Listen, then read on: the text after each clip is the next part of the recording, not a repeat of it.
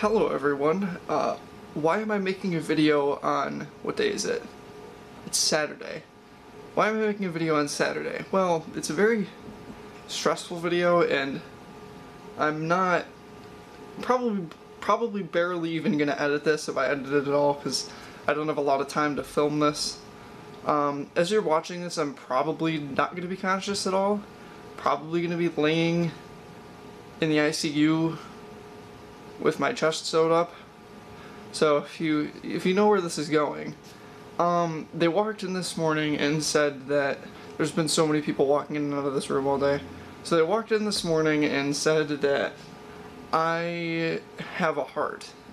Like a, there's a, a donor with a heart that matches everything. The fridge just turned on. I don't know if you guys can hear that or not. But but yeah, um, they came in yesterday and said that they found a heart but they weren't gonna take it because they could find something better. So it's like, holy crap, I've been here for a day and they already found a heart.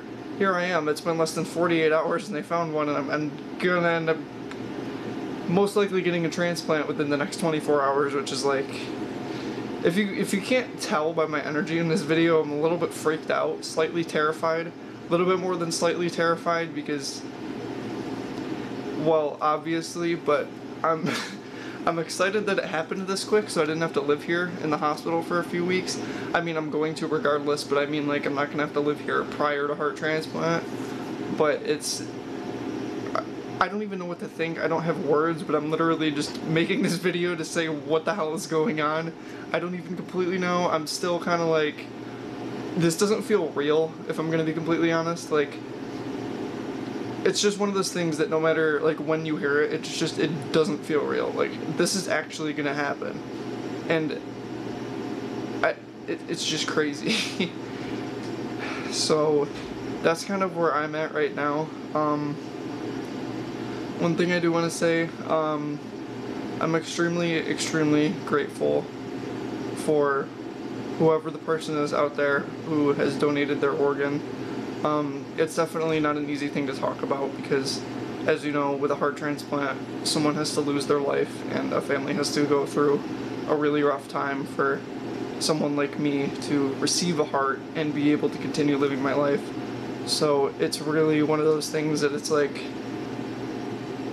like you, you, I don't even really know what to say, but it's just kind of like someone has to give up their life for yours and there's no other it's just a really weird thing to talk about, and it's not easy to talk about, but it's it's a it's something that you're extremely like thankful about and very like thankful for, but you also know that someone has to go through a loss, which is not easy to think about, and I will forever, forever, forever be so incredibly grateful for the family and the donor that I got for giving me this gift to allow me to keep living my life.